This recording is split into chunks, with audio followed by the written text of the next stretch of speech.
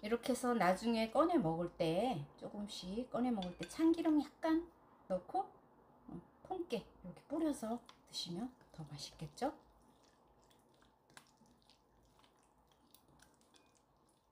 네, 오늘은 저장해서 먹을 수 있는 음, 더덕 고추장 장아찌 예, 맛있게 만들어 영상 올려드립니다. 네, 더덕이에요. 더덕, 어, 깐더덕 500g이에요. 어, 껍질을 벗겨서 어, 씻어서 키친타올로 물기를 다 제거했어요. 어, 오래 두어도 변질 없는 고추장 장아찌를 만들어 볼게요. 바로 먹을 수 있는 고추장 장아찌예요. 어, 양을 좀 많이 하면 음, 오래 드실 수 있어 좋겠죠? 500g만 제가 만들어 볼게요. 더덕은 큼직해도 좋고 이렇게 간으로도 괜찮아요. 이렇게 먹기 좋게 그냥 뚝 잘라줘요. 이런 식으로 해서 볼에다가 담고 자잘한 걸 제가 사왔어요. 이렇게 한 입 크기로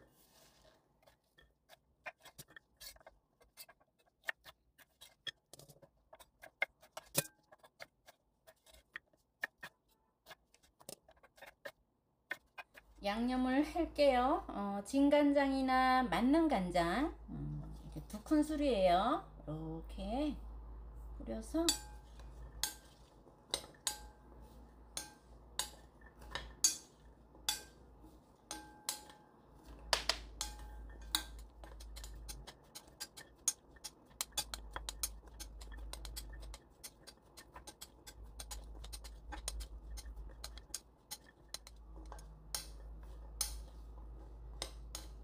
이렇게 고루고루 섞은 다음에 올리고당 40ml예요.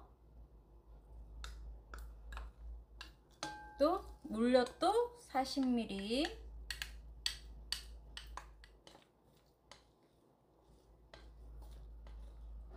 여기다가 당금주예요.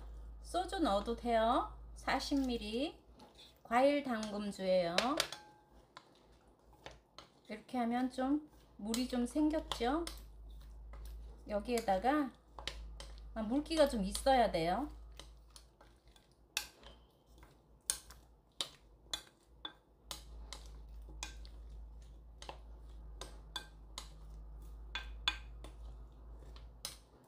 음, 여기다가 이제 고운 고추랑 고추장을 넣을 건데요. 어, 고추장이 싫으신 분은 여기다가 간장을 좀 더 넣고 소금을 약간 더 넣고 약간 짭조름하게 해서 저장하고 드시면 돼요. 그렇게 해도 맛있어요.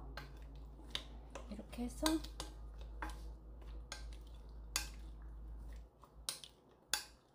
좀 간이 뱄잖아요. 이렇게 간이 뱄을 때 고운 고춧가루도 40ml 정도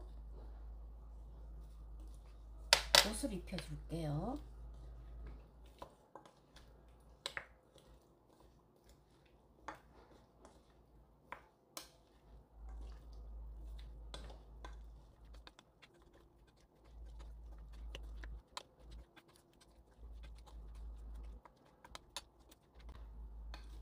지금 간을 보면 싱거워요.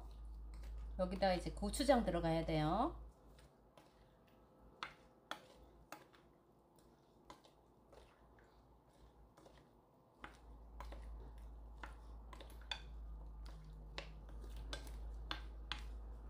이렇게 해서 고추장을 한 컵 푹 떠서 이게 200ml 한 컵인데 이렇게 수북하게 한 컵 푹 떴어요.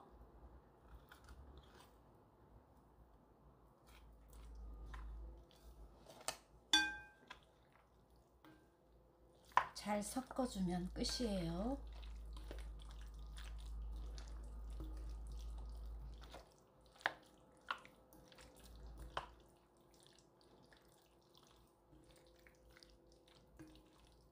고추장을 이렇게 넉넉히 넣어야 변질이 없어요.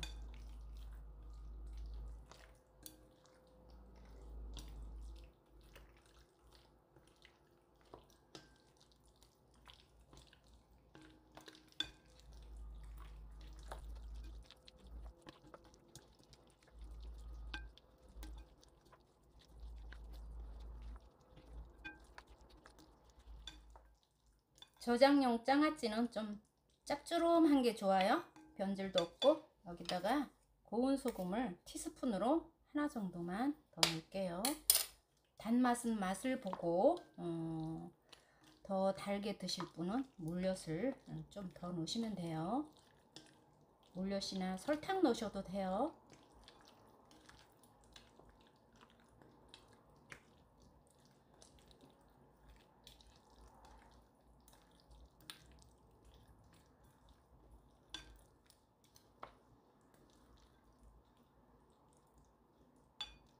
이렇게 질적해야 돼요. 이렇게.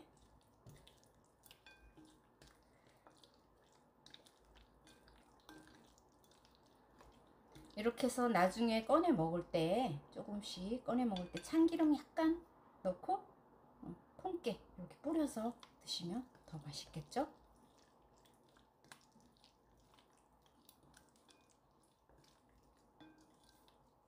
이렇게 작은 양을 해서 이걸 또 빨리 먹었잖아요. 먹고 이 밑에 고추장이 남잖아요. 그러면 여기다가 조금 더 사다가 이렇게 썰어서 이렇게 예, 묻혀서 이다가 묻혀서 드셔도 맛있어요. 그렇게 하시면 되고 이렇게 해서 통에다가